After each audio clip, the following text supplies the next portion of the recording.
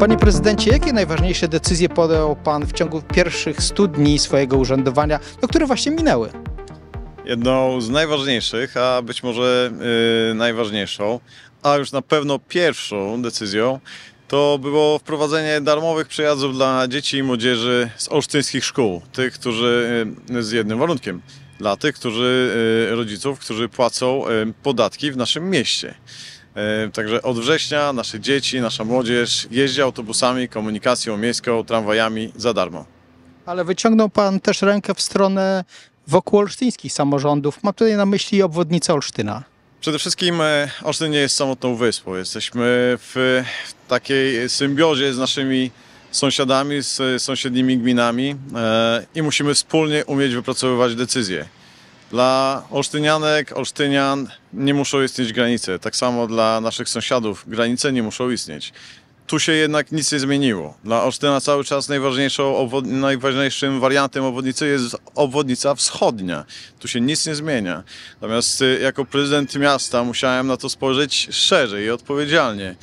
Jako osoba, jako samorządowiec wiem, że za chwilę mogliśmy dostać informację, że jeżeli nie potraficie się dogadać w Olsztynie, to nie będziemy budować żadnej obwodnicy Olsztyna. Dlatego powiedziałem, nie będziemy blokować ślepo zachodniego przebiegu obwodnicy, ale nie zmieniamy zdania. Najważniejsza jest wschodnia i każdy, każdą szansę, każdy moment, kiedy będzie można wrócić do tematu obwodnicy wschodniej e, i chociażby budować pełen ring, albo jeżeli dalsze decyzje generalnej dyrekcji będą e, niekorzystne dla zachodniego przebiegu, to być gotowym do wrócenia do tematu obwodnicy wschodniej. Nic się nie zmienia w ocenie sytuacji. E, Panie prezydencie, jakie najważniejsze wyzwania w najbliższym czasie stoją i przed panem, i przed miastem?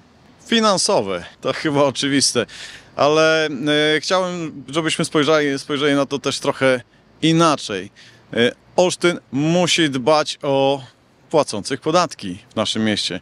To dlatego będziemy tworzyć kolejne zachęty do mieszkańców, do olsztyńskich firm, żeby tu płacić podatki, bo to się nam opłaca. Warto mieszkać w Olsztynie. Jeżeli tu płacę podatki, tu moje dzieci jeżdżą bezpłatnie komunikacją e, publiczną. W następnych miesiącach e, będziemy wprowadzali kolejne e, zachęty, żeby płacić podatki w Olsztynie, bo musimy mieć świadomość, że te podatki, te pieniądze przeznaczamy na cele naszych mieszkańców, na ich e, lepsze życie, na transport publiczny, na, e, na usługi, na kulturę, na rozrywkę, na wreszcie na oświatę. Dlatego warto mieszkać w Olsztynie, warto tu płacić podatki i będę się starał udowadniać olsztyniankom i olsztynianom, że to ma sens. Panie prezydencie, wspomniał pan o pieniądzach w najbliższym czasie. Jakie inwestycje nas czekają? Mam tutaj na myśli nie tylko inwestycje w infrastrukturę, ale też inwestycje w ludzi, w mieszkańców miasta. Tu mamy dużo inwestycji na różnym etapie. E, Jedną z tych e, najważniejszych, która wymaga od nas takiego bardzo mm, kompleksowego podejścia, to e, rozszerzenie naszego parku przemysłowego. E, I tu łączy się wiele tematów, ponieważ oprócz tego, że musimy uzbroić ten teren, przy okazji budujący nowe połączenie z tak zwanym e, szeroko rozumianym olsztyńskim zatorzem, czyli ten tunel pod torami e, łączący Ziętary Malewskiej praktycznie jest węzłem wschodnim obwodnicy.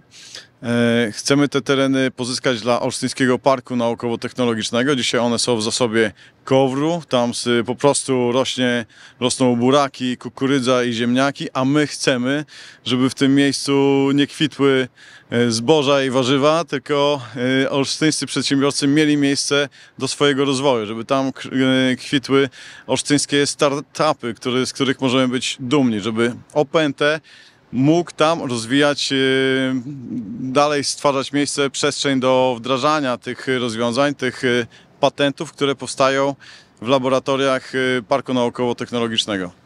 A młodzież, dzieci?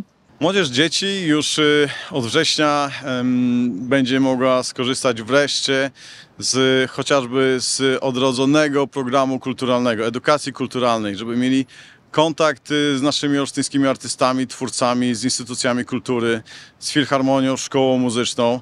y, Aż y, do klas drugich szkół podstawowych w ramach lekcji WF-u wraca nauka pływania, bo no, Gdzie, a gdzie, ale w stolicy Warmii i Mazur dzieci powinny mieć darmową naukę pływania.